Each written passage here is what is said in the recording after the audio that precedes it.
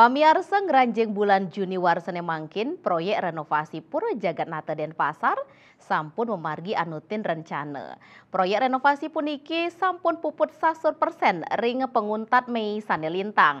Kantos mangkin durung kepanggih piambeng ring sejeronin pewangunan Pura Inucap.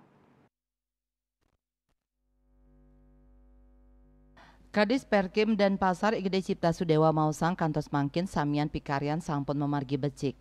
Punika mawinan pai ketandane masih kayang proyek saneka among puniki sida puput anutin rencana. Asa punika taler kuentenan tukang sampun masang bata merah ring sawetara sisi wangunan miwah meton ring kori agung.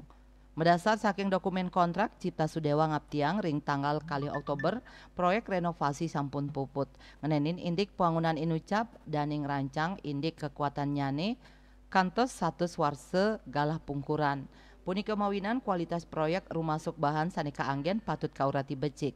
Santukan genah nyane ring sisin margi ageng, sani ngawinang tembok melakar baje, sani ageng mangdani koko.